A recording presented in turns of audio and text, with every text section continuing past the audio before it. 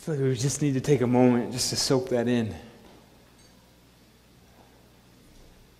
Just to, just to feel and to hear and to what God is doing through us and in us.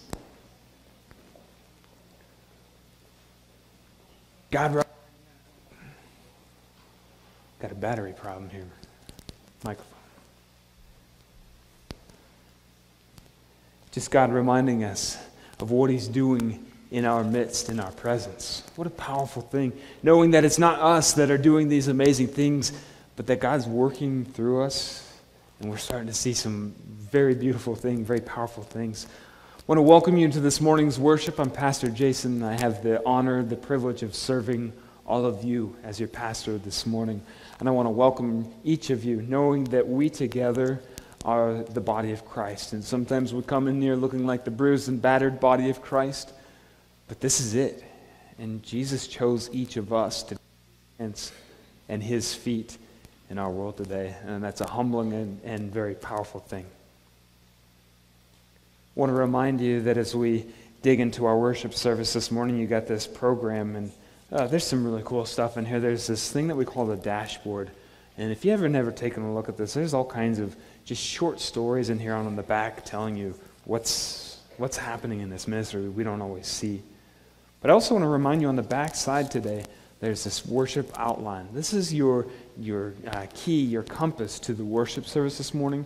You'll see little suns right there that will signify that there's a point to uh, respond to in your program. You can take this with you throughout and let it continue to be a, uh, a strengthening and a focusing and a grounding presence throughout your week. We're in our third sermon of our sermon series, in Truth About Love. And uh, we're talking about what God's love is and how it feels. And sometimes we, we build love up to be something that it's not. And so when God's loving on us, we miss it or we think that it's something else. Maybe it's, it's distance from God or God despising us or, or punishing us. And so, uh, so we're digging into this. And uh, we're talking about the truth and that love doesn't lie. And I was thinking, you know, one of the things that uh, I'm, I'm, young enough, new enough in my marriage. Sarah and I have been married for two and a half years. And uh, in spite of anyone's um, best recommendations, I've really been struggling with something. See, I, I, it is this, this constant nagging in my heart that as a pastor, especially, I have to be honest with Sarah all the time, right? all the time. And, and, I do this because I want Sarah to know that um, when she's um, asking me in really important matters, that, uh, that she knows that um, you know he, he's telling the truth. He's not just making a fib or, or saying what's easy. But, um, but there's one particular area where this is a real challenge for us. And it happens every other morning uh, in our frenzied uh, routine for getting ready for, uh, for clinical for Sarah or for church for me. Um, and uh, it's that question. And it sounds a lot like Does this look all right? what do we do? oh no. It's almost, you know, I should like get up an hour early so I can avoid that whole situation. Because I want to tell the truth. I want to be honest to Sarah. I mean, I owe that to her, and, and, and that's important to us. Um, but in my desire to be completely transparent and honest, and, and, you know, people have said again and again and again, don't go there. Like, this is one of those weird uh, exceptions to the rule where you can just say, Dear, you look wonderful. but, yeah, no, but in, in my, I don't know, my, uh, my legalism, whatever it is, I'm like, no, you got to tell the truth. Always be honest. So that way, when she confronts you on something else and you say no, she's going to believe you. and so I'm sitting there, I'm like, well, you know, like, um, the colors wouldn't be something I would wear together. or sometimes I even go to that where I know this is like thin, thin ice. I'll say, you know, like, I don't know, it just doesn't fall right on you, maybe. I know. So poor Sarah, because, um, you know, that's just how clothes work. But like how that makes a person feel, that's a that's a that's a dagger right in the heart. So you, you see what happens when we talk about truth. Now, love refuses to hide from the truth. Love refuses not to tell the truth. God's love does. If it's not seeking the truth, then it's not love that is from God. But how do we live into that in our lives? Because the truth is, in the matter of this situation, Sarah's asking me, does this look okay? What we both know makes the whole morning so much smoother, so much more peaceful, and at least for the short term, our marriage so much happier, is if I say that looks, that looks awesome. Beautiful.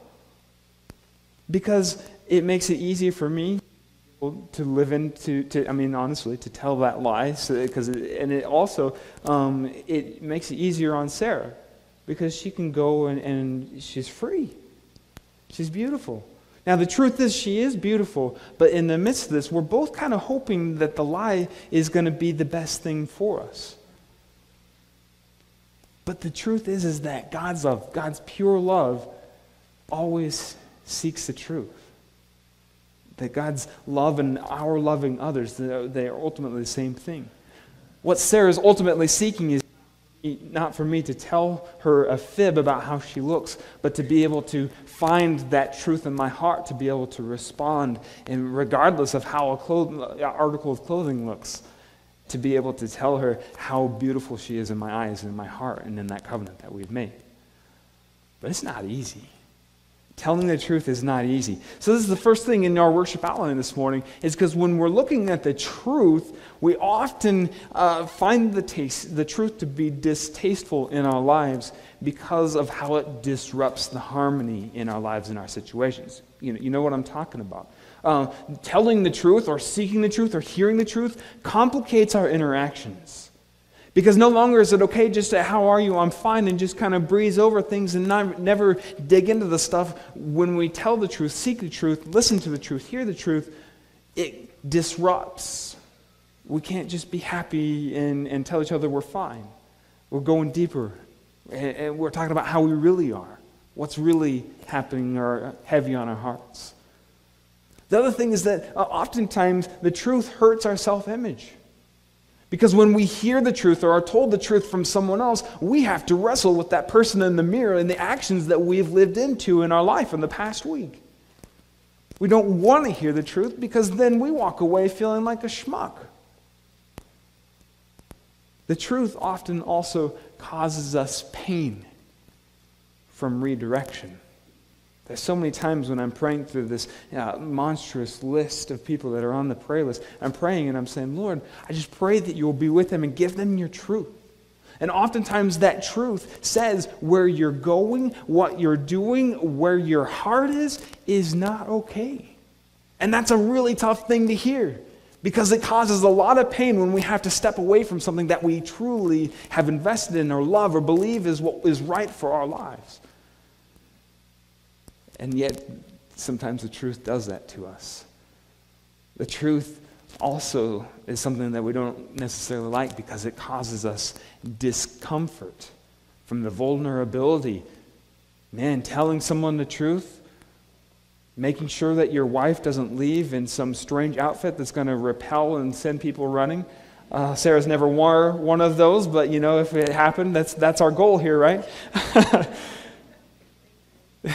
I know, poor Sarah.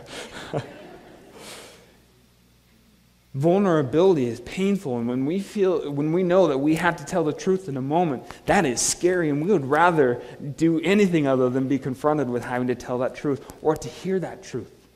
When that is spoken to God, spoken through God to us about a truth about our lives or our choices, our situations, or when someone else tells us a truth that hurts, we would rather get angry or point our fingers back at someone else than deal with that truth. Yet, as much as we may not always like the truth, it is powerful, it is holy, and it is sacred. Jesus talks about the truth and the life all the time.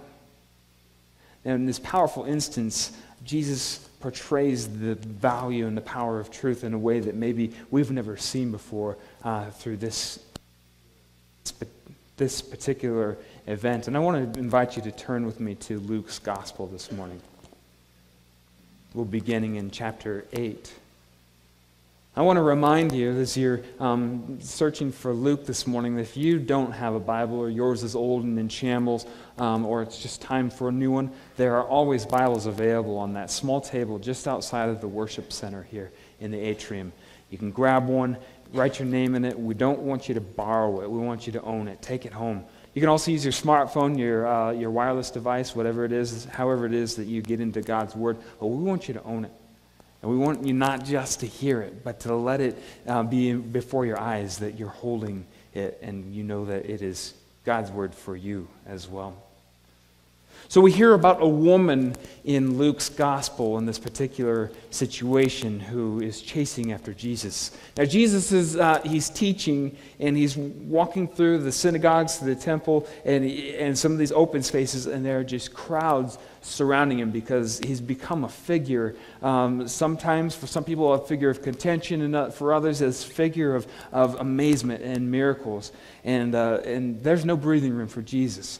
So we're going to start in the second part of verse 42 um, in that first sentence. And uh, Common English Bible is what we always preach from here, teach from. And we're told that as Jesus moved forward in that crowd, he faced smothering crowds. There's no shoulder room, there's no elbow room here. Uh, it's tight because people are, there's this frenzy of, uh, of energy around who Jesus is and his presence among them. Verse 43, though, we hear about a woman who was there who had been bleeding for 12 years of her life. She had spent her entire livelihood on doctors, but no one could heal her. So Jesus was walking through this crowd, and we're suddenly hearing about this woman who, for 12 years, has been subject to bleeding. No doctor has been able to heal her. She has been rejected by the community. She has spent every penny that she has on all these remedies, and nothing has ceased her pain and her suffering. So, verse 44, she's there and she came up behind Jesus and she touched the hem of his clothes. Just the hem. She touched the hem and at once her bleeding stopped. Somehow, this woman makes it through the crowd and she is chasing after Jesus. And whether she's saying, you know, no doctor has been able to heal me, but maybe or maybe she says, I know it is Jesus. I've been, I've, I've been corrected. I've been chasing after Jesus, but today's the day I'm finally face to face with him. She touches the hem of his cloak and she is healed. It's a powerful thing. Well, look what happens. Verse 45 Who touched me? Jesus asked. He turns around and he says, Who touched me? And of course, everyone around him is denying it. Oh, it wasn't me. I didn't, I, you know, I, I, bumped shoulders with you, but I didn't touch you, you know, like not the way I think you're talking about. When everyone denied it, Peter said, Master, the crowds are surrounding you and pressing in on you. In other words, Peter, and I love how uh, just honest Peter is, he comes up and he says, uh, Jesus, what you, who touched you? About a hundred people just touched you. What kind of question is this? But Jesus is not letting this go. Verse 46, he says, uh, But Jesus said, Someone touched me.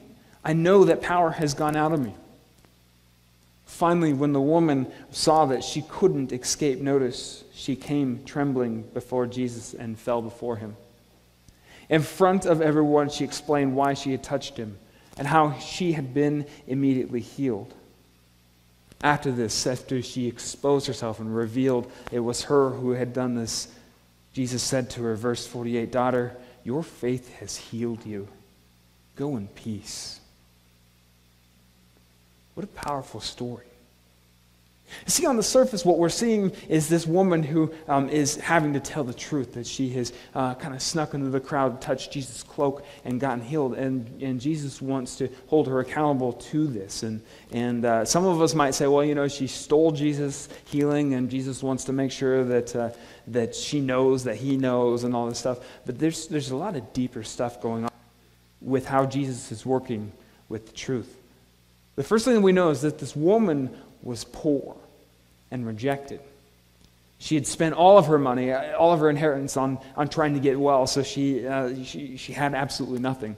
We also know that according to the Jewish tradition and Jewish customs, uh, that if you were bleeding, whether whether you're a woman and you are uh, facing uh, your monthly, your, your periodic menstruation, or whether you're bleeding for any other reason, if you are a man and you are bleeding, you were labeled unclean. Anyone who was labeled unclean was to remove themselves from the community and uh, actually hang out in this area that was for unclean people only. And you weren't allowed to go back and be a part of the community until you either waited a certain amount of days or you could prove that the bleeding had stopped, and you would go before the priests and you would let them uh, look you over, and then they would say, Okay, you're no longer unclean, you're okay, you can go home.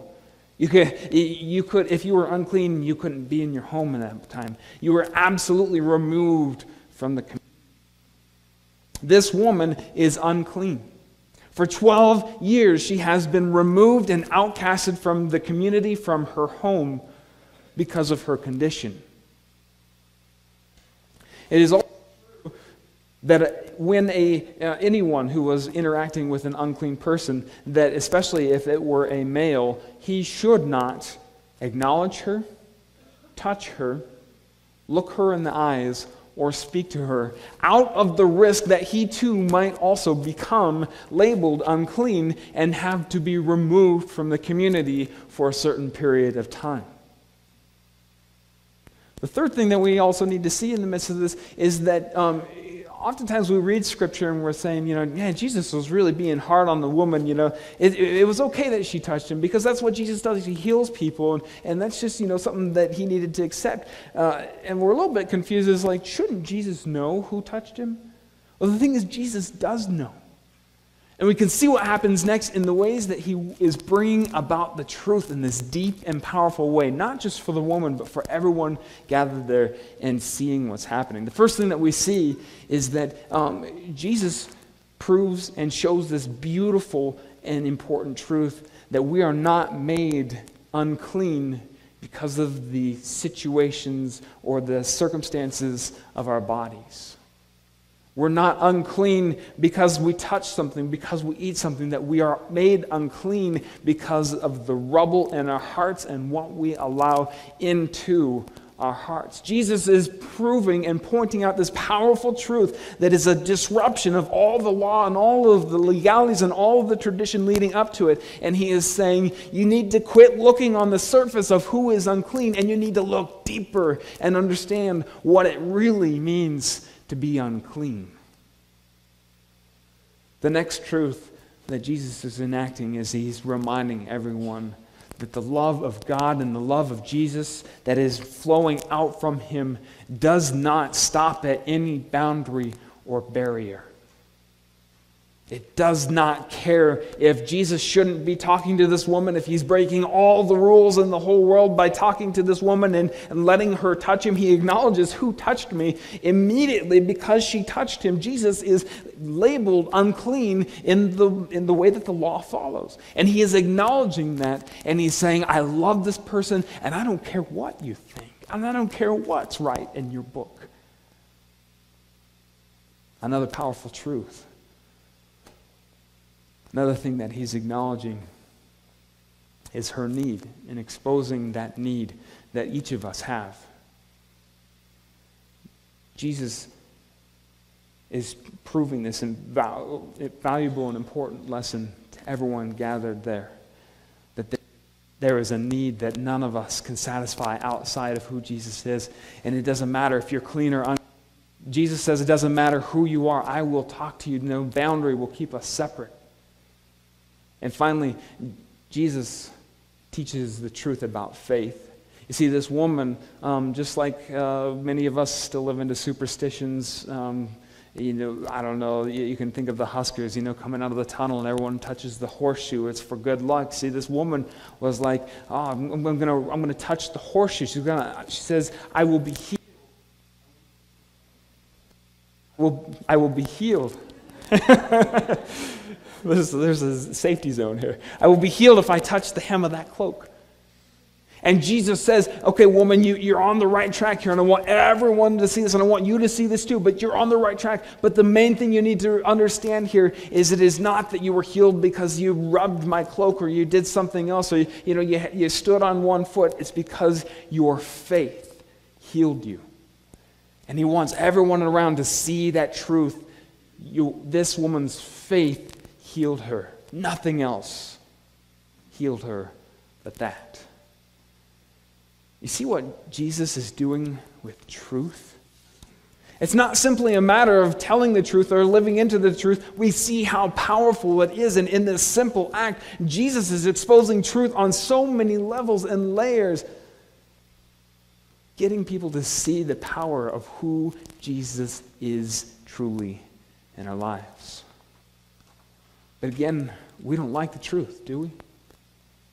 The truth is something that we avoid so as to avoid that tension. The truth is something that we escape so we escape the pain of having to deal with how, things really are. The truth is something that we avoid because when we are addressed with the truth, oftentimes we pick up shame and put it on our shoulders, believing that that's where it belongs.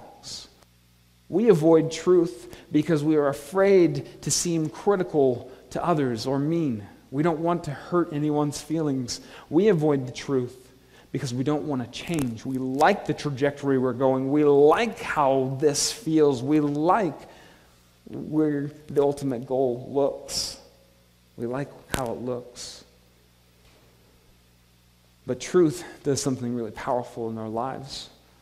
I also want to invite you to turn to John's Gospel this morning, also to chapter 8 to John's Gospel, chapter 8. John was the last of the four Gospels to be written. It's the fourth in our lineup of the four Gospels and the first part of the New. Jesus is, again, all of these teachings are from Jesus confronting or having discussions or uh, intense moments with, uh, with the Pharisees or the Jews surrounding him. And Jesus is, uh, he says in verse 31, um, he says in, in the midst of who he is, verse 31, he says, Jesus said to the Jews who believed in him, You are truly my disciples if you remain faithful to my teachings. So, right there, he's saying, If you follow my teachings, if you allow yourself to hear these truths, you will remain my disciples. Verse 32 Then you will know the truth, and the truth will set you free.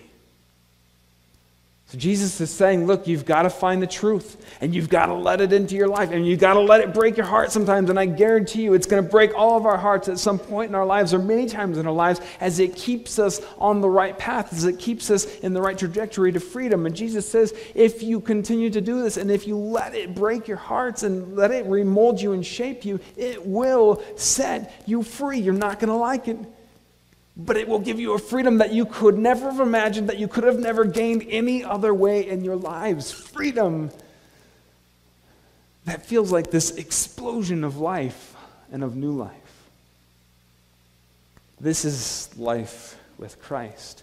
Galatians chapter 5 1, again, the fruits of the Spirit are uh, caught by Paul in, uh, in his letter to the church in Galatia. And he says, as he begins chapter 5, he says, Christ has set us free for the sake of freedom.